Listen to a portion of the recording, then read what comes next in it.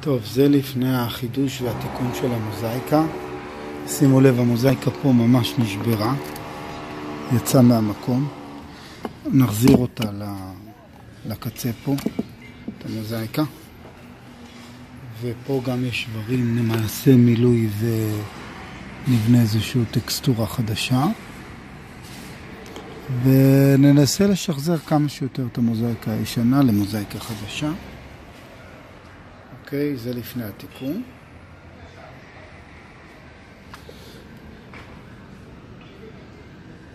ועוד מעט תראו אחרי התיקון.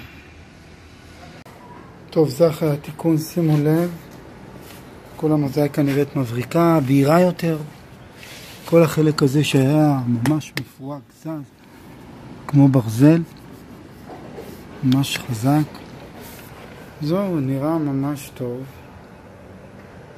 יפה, לא שבור, כל החלקים השבורים הדבקתי עם דבק שיש, סילר, וקס, ליטוש, 4-5 שעות עבודה, יש לנו פה מעקה מוזאיקה נורמלי, סביר, חדש זה לא יהיה, אבל זה הרבה יותר טוב ממה שהיה לפני כן, ושימושי כמו שאומרים.